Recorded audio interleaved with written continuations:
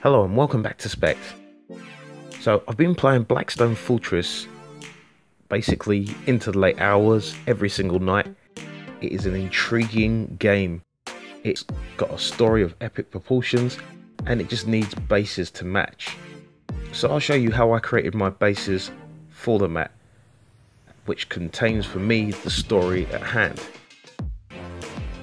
So let's get started with the UR025. It's a beautiful model. Uh, it's fantastic in combat.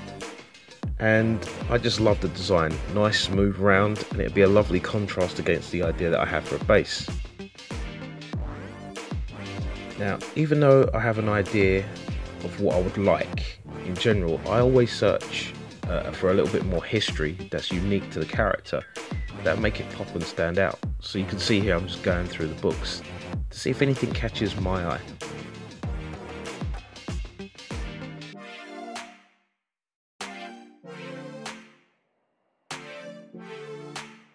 Now the bases are pretty nice, but there's one thing that really stands out, are the triangles that are everywhere.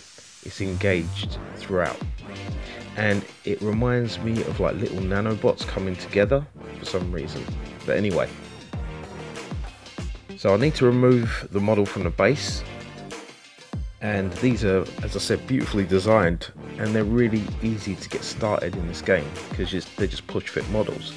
So thankfully it has a slotta base if this has been glued on I'll just have to cut it off or if you're looking to kind of glue these onto flat bases you could just you know cut off the slotta it's no issue no problem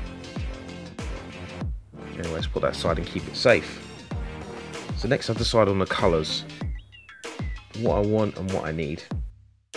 I want to show that it's an alien construct so I can't go for normal earth tone colors or metals or metallics.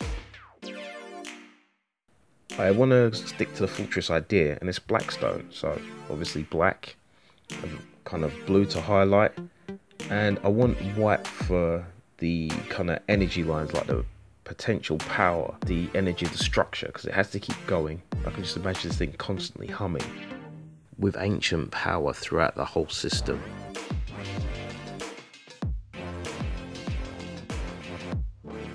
Anyway, I have my paints here. Uh, I'll put them aside. And I want to start with a black. Just get a foundation of black going. Just base it as normal. If you've got an airbrush it would take you seconds.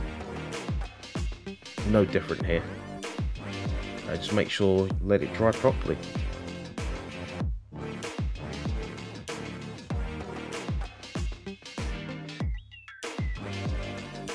I know that sometimes when painting with black and you're going to add white to it, people get worried, but these Citadel paints are really good when you're just using the, the paint directly out the pot because it's really thick. So don't worry about that too much at this point. Plus we're going to cover over that colour to make it a bit more subtle. And that's where, before I continue, I decided to have a look at more research information. I'm just going to keep a couple of pieces nearby. It keeps my focus on what I need and where I want to end up with this result. And the designs are so interesting, as you'll see.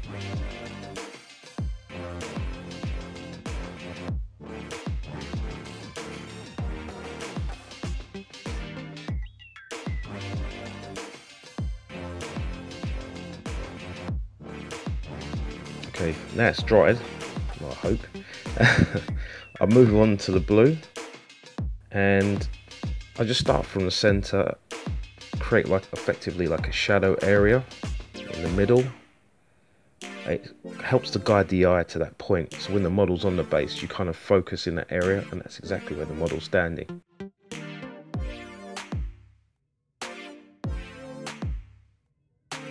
fortunate that I have those pieces nearby because as I start looking I start to realize something's missing. On the pieces it has like a fog effect almost. And from a distance it comes across as a grey in colour. So I go and get a warm grey add to it. And as before let it dry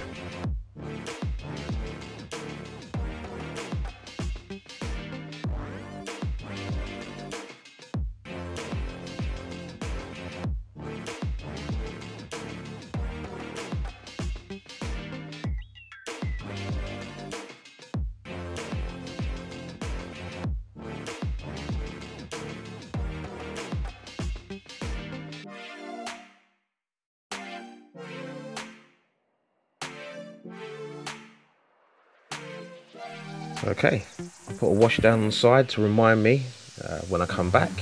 That's what I need. And it helps if you do that in future if you're laying down different colours. Back to the topic at hand. I'm adding in a wash now. I'm just coating it. And that helps to bring the colours together quite nicely. This is when I kind of realised that it, I, I didn't leave enough time for it to dry. So it starts pulling the colour from underneath. So I have to come back in and add more colour. Which is kind of not what I wanted to do. But, you know, it's happened rather than deleting it from the video, I show you why it's important to, you know, obviously let your washes dry or let all the paints dry if you're going to layer them up, unless you're blending.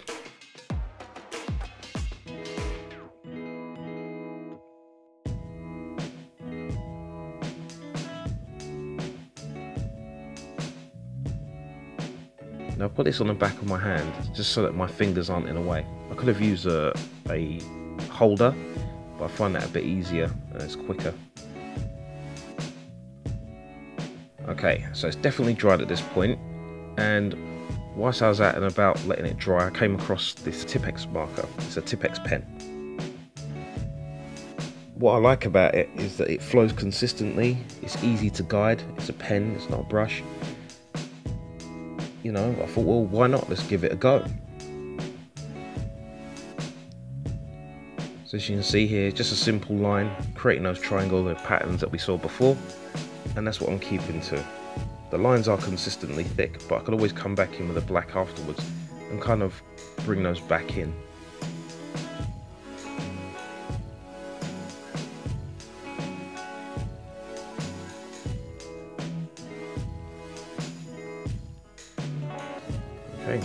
The next stage.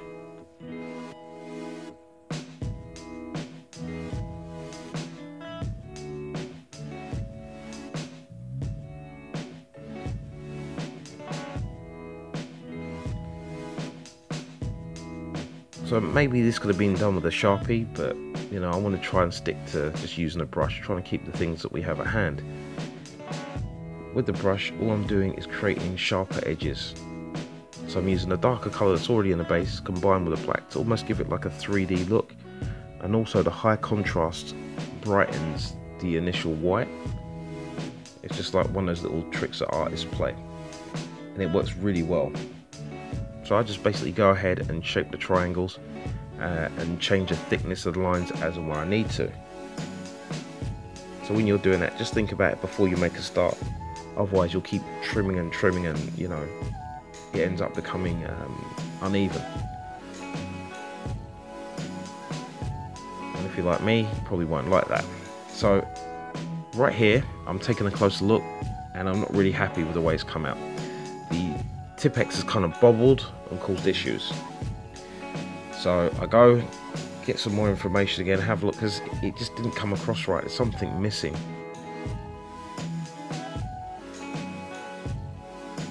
It's just that it's uneven and it just looks really bad. So I decided to remove it with a mold line remover. And I scrape away and uh, that's when I start to notice a contrast between the smooth and the rough. But initially at this point I was fed up. I had spent all that time it's really frustrating and you know it's not nice to undo your work but it happens sometimes well you learn use it as a learning process anyway that's not what I felt at the time so as I've done this I realized like there was a smooth area texture and I really liked it and the little bumps that come naturally base kind of looks like rubble or like little stones. So I thought I would keep it.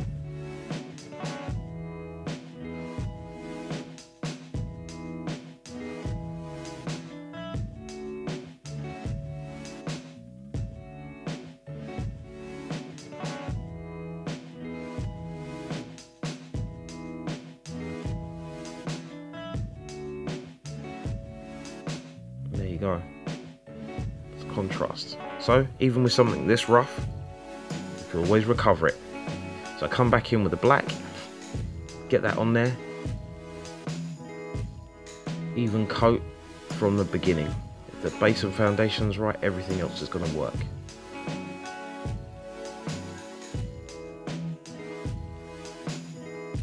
This time I leave it to dry. Next I grab my blue and again this time I come with a bit stronger blue because I'm going to be washing it back anyway. I've got that there, it's covered, it's how I want, just creating that shadow effect so it's not a perfect circle. Kind of give shape to a body on top. I leave that to dry. Next up is a grey again, and you may have noticed the last time I was painting with the grey, I paint from the centre outside or outside from the centre away. And this is to create directional lines pointing towards the model in the middle. Uh, it's kind of like a little trick that gets played in the eye. So I do that. And the contrast actually creates for a nice edge. You could actually do this effect around the edge of the base as well. That's if you want to, and it does look good on the board. I didn't actually do it in this video, but I have done it for one or two models. And I even create one or two ghost lines of substructures underneath where the power lines would be. After it dries, and properly this time, because last time it didn't, I come in with a wash and I wash that over thoroughly.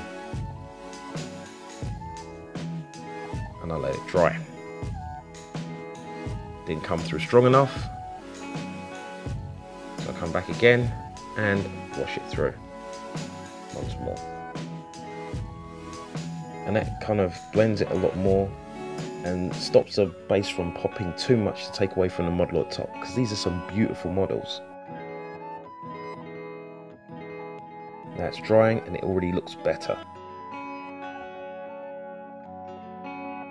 Now this is when I come back to the white lines and I decide to paint it this time and I use the base coat from Citadel for the white but it's a lot thicker but it's still kind of guided.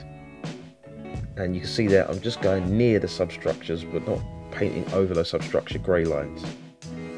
Now take your time with this. The more time you take the better it'll be. Now don't worry about that little bump in the middle. You can always place like little rocks over there if you want to. I just make it part of the base or depending upon where the model stands they may actually be standing over that part because again the models have been designed really well. And I had a little variation there of a triangle going the opposite direction because on all my other bases so far they've all been going the same direction. Add a few more additional lines just to basically add guidance first of all where I want it so it's not too dominating. I will make this one thinner than the one on top. So it looks like it's underneath. And don't worry about any mistakes like that. You can just come back in with the black and just tidy it up. You must make sure that this dries. Don't paint on the white unless it's dry. Okay, just bump the camera there. okay, so I went back in with the black just created those outlines and that becomes part of the kind of power system in my mind's eye. And we'll get our model on. As you can see, it's just push fit, so straight onto the base. And I really do like the push fit idea. No glue, means there's no customization, but it works really well when building an instant play. And that's what you really want with Blackstone Fortress. So just using my tool there just to push it back in. That's just a scraping tool that I got from Warhammer Conquest, just in case you're wondering. Well, he's done and he could join his buddies in battle. Wait, before I do that, something I might want to do here, uh, which is to add in the uh, connectors between the power lines on either side of the base and on the slot where the model is pushed in.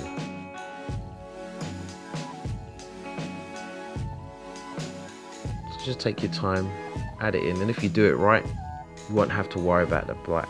But make sure you do colour in that line in the same format on the base.